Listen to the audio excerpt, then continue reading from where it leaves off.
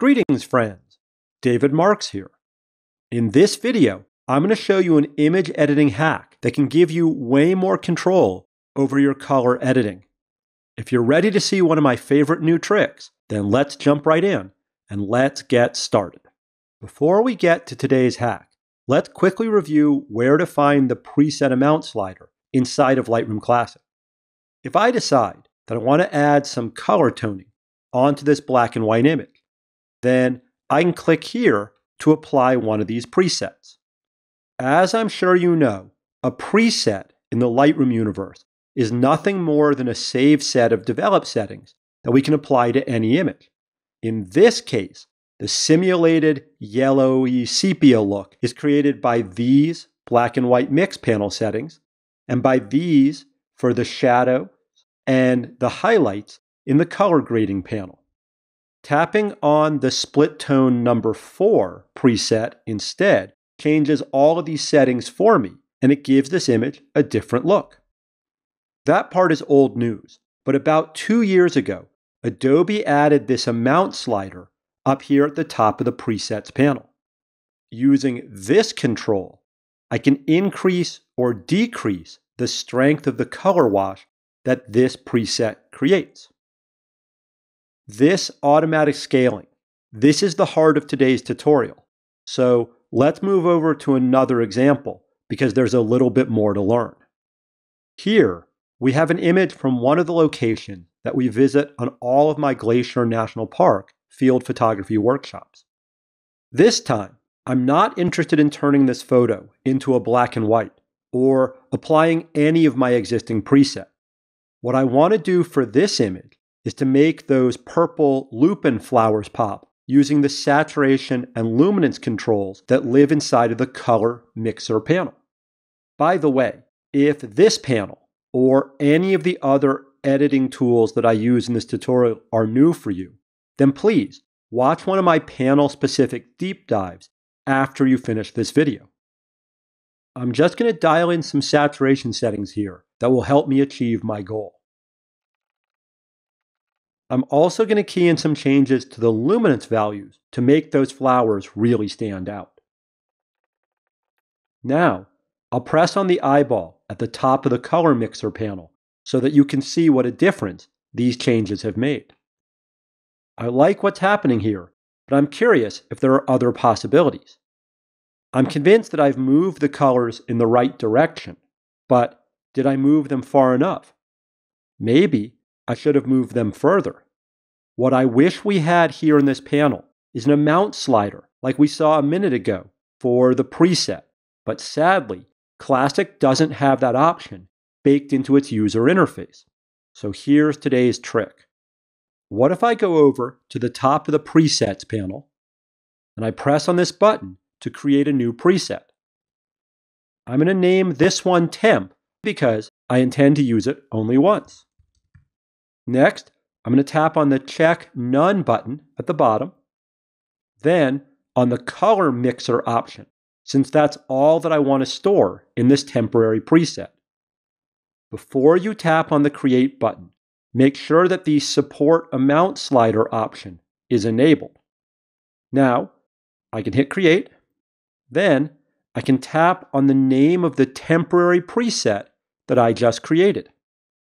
Once I've done that, I can drag the preset amount slider up or down to see a host of other color mixer possibilities. At the zero setting, we can see this image without any of the changes that I made a moment ago using the color mixer panel. At the 50 setting, we're getting about half of the change that I dialed in using those saturation and luminance sliders. And at the 200 setting, we are doubling the strength of each change that I made. Now, instead of having just one option, we have a huge range of possibilities. And on this image, I happen to like the way that things really look around the 160 setting. In no time, we've gone from this to this, where those flowers really pop. And I've discovered a set of HSL values that I might never have stumbled upon on my own. Let me show you some additional refinement to this workflow hack using this photo from Acadia National Park. Like last time, I've already established the exposure that I want for this image using all of the normal controls up here in the basic panel.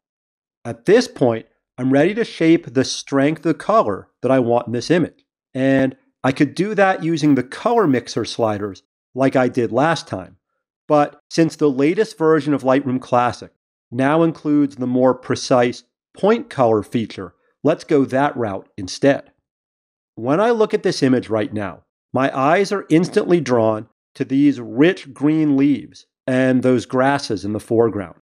I don't dislike those areas, but I don't find them as unique as the red and orange leaves. So, to knock down the intensity of the greens, I'm going to activate the color sampler tool. Then, I'm going to sample an area like this to create my first swatch. Next, I'm going to drop the saturation down and bring the luminance up. To prevent spillover from the yellow leaves, I'm going to work with these additional range controls down here, and I'm going to close down the hue and saturation ranges a little bit using the Alt Alt Option key click trick to see a live preview. With the greens toned down, I'm going to activate the color sampler tool again, and I'm going to define a second color swatch for the orange areas. Here, I'm going to shift the hue towards red. I'll boost the saturation and slightly lower the luminance.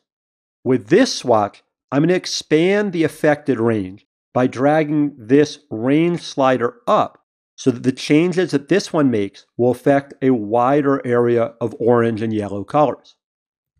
Finally, I'm going to repeat this process one more time with an additional swatch that targets the reds. At this point, let me press and hold the eyeball beside the color mixer panel so you can see what these changes are doing to this image. I like what we have now, but have I gone far enough? How can I be sure that my current point color settings are the best possible look for this image? Well, the way to answer these questions is to come back over here and to create a new preset. Like last time, I'm going to name this one temp. I'm going to make sure that only the color mixer and the support amount sliders are turned on. When I hit create, though, another window is going to pop up since I'm reusing this preset's name. I'm sure that overwriting the settings in this temporary preset will do me no harm, so I'm going to choose replace. Now, I can come over here and tap on my temporary preset, and then I can use that amount slider to explore the world of other point color possibilities. Let's say that I love what's happening here at twice the preset's original strength. Let's say specifically that I love what's happening in the greens and yellows, but that I think that the reds look a little overdone. Well, like everything else in Lightroom, there is nothing stopping me from returning to the point color panel at this point and reactivating my red swatch. Once this swatch is active, I can refine these controls without altering any of the changes that I made to the yellows or greens and with no fear. And bam. In no time, we've gone from the image on the left to the one on the right, and we've given ourselves the ability to consider a huge range of alternatives. Before I end this video, let me add two quick comments. First, once you're delighted with the way that your image looks, you can delete that temporary preset if you want to. But you don't have to do this either after you've finalized your image. Leaving that preset alone will do you no harm either. Second, I want to make it clear that this amount slider trick works with almost all of the global editing tools in Lightroom Classic, but not everything.